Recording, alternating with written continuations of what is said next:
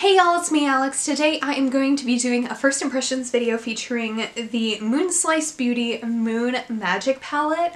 I have been really excited for this palette ever since I got it on pre-order. It arrived last night. I picked it up from my campus mailbox this morning. This is what it looks like. Moonslice Beauty is basically Saucebox Cosmetics' affordable sister brand. So I've always wanted to try something from Saucebox Cosmetics, but they've never had the products that I want in stock when I have the money for them. And this is really nice because their palettes, Saucebox tends to run about 40-ish, 35, 40 bucks a palette, I think somewhere in that range is a little bit.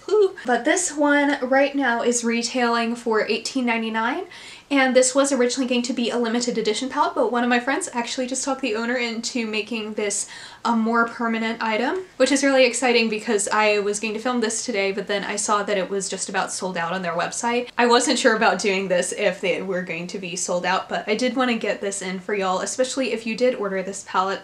Um, right now it retails I think for $18.99 and I know after Black Friday the prices are going to go up to $24.99 because they're kind of doing a sale right now. Um, I'm really excited. This brand is cruelty-free. It is not vegan, but it is cruelty-free. And I'm also really pumped about this because I've been trying to find a good kind of purple and burgundy reddish eye palette. And while this doesn't have as many like reds as I would particularly like, I think it does the nice kind of scope from purple into burgundy and I've been wanting to play with that. Now before I go into the actual palette itself and into playing with it, I did want to note of some of like my customer service experience essentially with the brand. So I pre-ordered this back in September because 10% of the proceeds were going to cancer treatments for Jen of My Beauty Bunny and I really wanted to support her and also this is a lovely palette and it overall just seemed like a really good idea. The pre-order was set to ship um, between October 31st and November 7th. Now, I didn't get a shipping notification until November 10th, and that was after I had gotten an automated um, notification from the website, like emailed me that was like, hey, can you review your, product on our website? And I was like, I haven't gotten it yet, but it officially came in last night. And after that, I after I noted like, hey, I haven't gotten this, so I can't give a review. Then I got a shipping notification. It took a couple more days for it to actually be shipped out, and I officially got it this past Monday, the 18th. Now, I wanted to note this because I've heard some other people had similar experiences with both that brand and with Saucebox, um, because Saucebox has also had some issues with a membership that they've had of kind of people not getting products and things of that nature.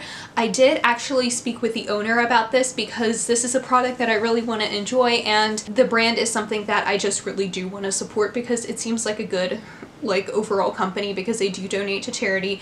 They're cruelty free, they're relatively affordable, and they make some pretty unique products. And I did talk to the owner a little bit about it and she did seem genuinely apologetic and from what it seemed like to me is just that like, you know, a lot of things were happening all at once and she's trying to kind of even things out and kind of get that balance between you know, getting new and creative things happening all the time while also making sure to fulfill um, the prior commitments, which I really understand. I'm an Enneagram 7. My whole life is me getting too excited about things and then realizing, oh wait, that's too many things. So I am understanding, however, I also don't want to minimize that and I also didn't want to not tell y'all of the customer service experience just in case that y'all order something like this you'll order something from the brand and you also have a late shipping experience or something like that. I just wanted to give you all the heads up and I'm really excited and I hope that kind of things move forward. I'm all about second chances. Right now I do kind of want to wait to see like, okay, how's the brand doing like in a couple months, but that's also because I'm trying to buy less makeup, especially eyeshadow is beautiful as this is. But I'm kind of going to adopt a wait and see approach. This brand is not cancelled by any means, but I wanted to find that balance of telling y'all about the products that I have been interested and I've been buying lately while also making sure to give you the full truth about um, kind of my experiences with those products, not just from like a trying the eyeshadows perspective, but from a brand perspective as a whole. I didn't want to mention that to bash anyone or anything like that, but I wanted to give the full scope of kind of how everything went down. now that I have said that, I'm going to zoom y'all in and we're gonna play with some eyeshadow. Okay, where did I put my eye primer? Why do I always lose my eye primer? Okay, I'm gonna use my Menagerie Violet ink palette just as my mirror because this is a really lovely mirror and I think that's great, but it's also gigantic and I'm really trying to get better about like actually showing the eye makeup that I'm doing. Not actually using this palette for the purple, just for the mirror. And I'm using my NYX HD eyeshadow primer because when don't I? Okay, so I'm thinking I'm going to kind of work with the burgundy section a bit for this look, um, just because that's the color of the cardigan that I'm wearing today. You can't see that right now because I'm not wearing it because it is so hot in my room right now. Like Jonas Brothers level of burning up. So we're just gonna see how this goes. I think I'm going to begin by using this shade right here, this kind of mid-tone mauve here. And I'm going to use that as my transition shade. And I'm just taking that on a BH Cosmetics blending brush of whatever variety this is. And I'm really excited because I do really love kind of these mauvey tone burgundies. Those are kind of my own neutrals. Like oranges and mauves are like kind of my neutral tones in the grand scheme of my makeup collection. I'm not a browns kind of person or anything like that, but I love, love, love a good mauve. And I think this is going on pretty nicely as my transition. I'm definitely going to really deepen this up with some other shades. I'm not entirely sure what shape of an eye look I want to do, but I just want to put all of the colors on my eyes, so we're just gonna see how this goes. Also, I've been really loving this brush. Y'all probably remember my Get Ready With Me using this brush set for the first time. I've been loving them ever since. Yeah, it's like 9 o'clock at night too. I've gone all day without wearing makeup, which has prompted the concern of two professors and a classmate of mine. But that's just because I picked this up this morning and I honestly just haven't had the time to play with it and I wanted to save my face for it, you know, I didn't want to do the haphazard makeup removal and then putting this all over my face, so. Actually, one of my professors who normally compliments my makeup, she said to me, Alex, you know, I really appreciate seeing the artistry on your face whenever you come into class, but I also really love getting to see the blank canvas too. That was a phrase that was said to me today.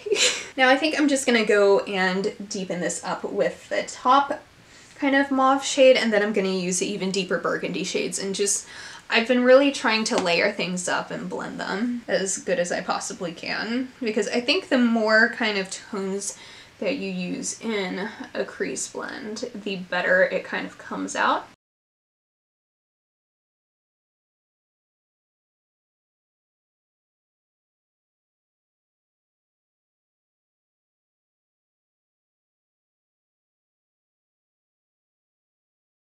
Actually, I think I'm going to take that shade into the outer corner as well.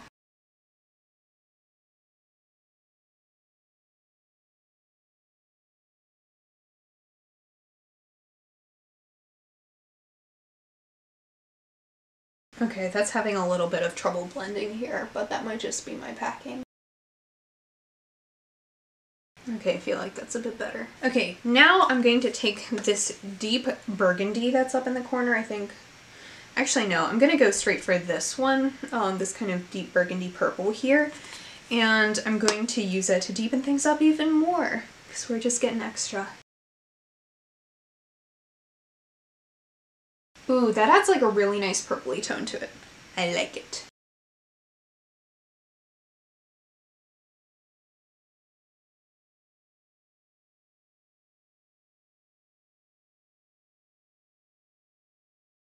And I'm just going to take the first brush I used with a little bit more of the mauve and use it to kind of blend things out in my crease.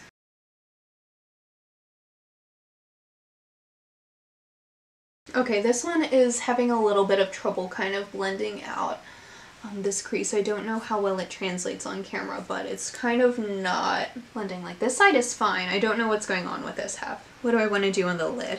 Because I'm almost wondering if I want to dip into like one of the lighter purple shades just to add some dimension. And I did swatch them and they're really nice and duochrome a little bit too. I'm gonna swatch this deeper one just to kind of see how that goes because I don't want it to be super duper dark, but if it's not so dark, it would make a good lid shade. Okay. And looking at that, I think that would be a good tone to go along with it. So I'm gonna go on ahead with that. Now I'm not gonna use any like glitter glue with it necessarily. I'm just gonna pack it on and see what happens. Oh, that's going on like really sheer. Okay, I'm gonna give in and try some glitter glue with it and see if that helps. Because it swatched really nicely and opaque. I'm just gonna pack that on top of donuts. Like the right or proper way to do glitter glue, but okay, let me try this again.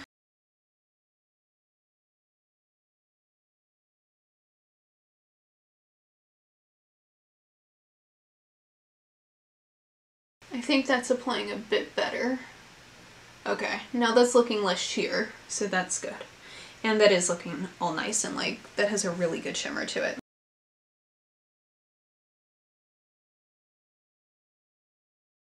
The shimmer actually is almost feeling like um, the shade Mimic from the Menagerie Will Song palette, like the way it performs as more of a topper if you don't use like a shade under it or if you um, don't use a glitter glue or anything like that, but kind of once you put it on, even though it's a bit flaky and like I personally am digging into it a little bit in the pan, I think it's still like turning out pretty nice. And I'm just going to use a little bit more of that deep burgundy shade on my outer corner to blend things out.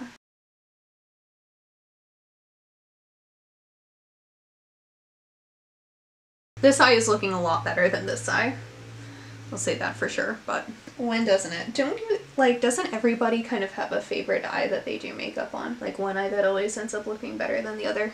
For me, this eye always looks great and this one is like questionable. Maybe it's also because that's where my bangs go so I can't just like tell like everything else so maybe that's it. And I would normally do my base but it's almost 9.30 right now and I'm not really planning on going anywhere or doing anything after this besides I'm almost out of my beloved NYX Bare With Me Tinted Skin Veil so I don't want to kind of risk that or use more of it so I'm just gonna begin on the lower lash line and I'm going to just kind of do what I did in my crease. Actually, I think what I'll do is I'm going to use this shade here up top.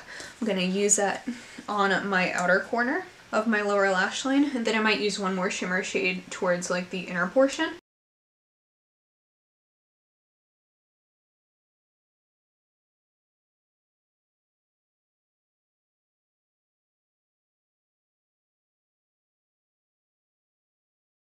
And now I just really want to try this burgundy shimmer here on the inner portion of my eyes and just to see how that goes. Okay, that one doesn't need as much of a primer as the lid shade, I think.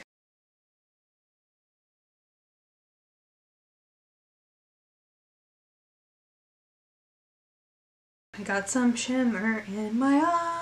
And then for my inner corner highlight, I really want to use this kind of light pinky purple up here. Oh, that's a really lovely shade. I like that a lot.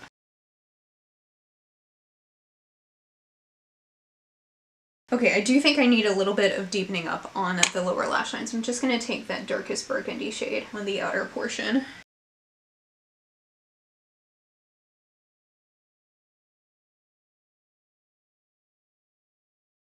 Okay, and this palette doesn't really have a good brow bone shade, so I'm just going to use a matte white shade.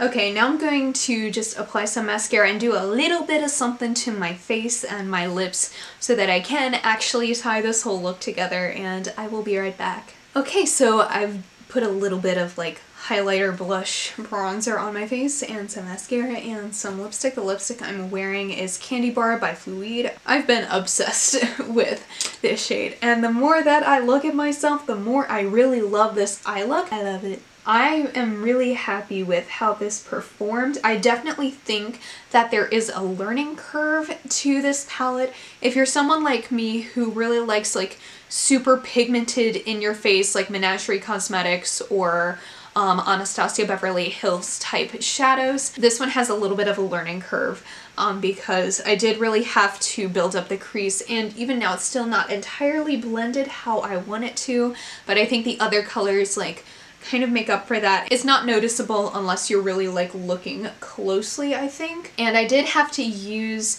a glitter glue for the shimmer shade, which I don't particularly mind. Um, it's just something that I feel like I need to know about to kind of get things to perform how I want it to. So now that I know that, that is what I will be doing with the shimmers from this palette. Um, I've kind of just been loving using a glitter glue for shimmers anyway, because I feel like that really did make this pop a whole lot. I'm also really impressed with this inner corner shade, like just this random tiny pink shade.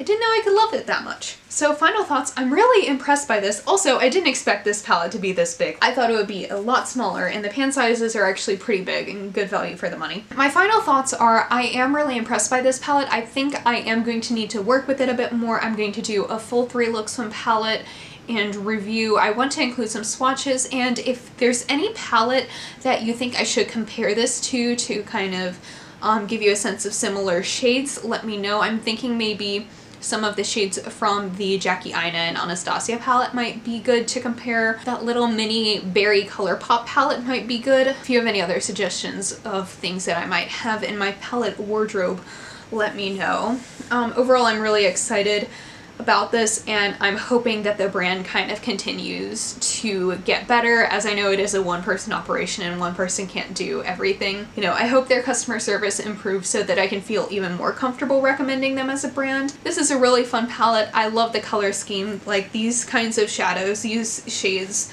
are kind of like what I would look for in a go-to palette because I know all of these colors will look good on my eyes and with my skin tone.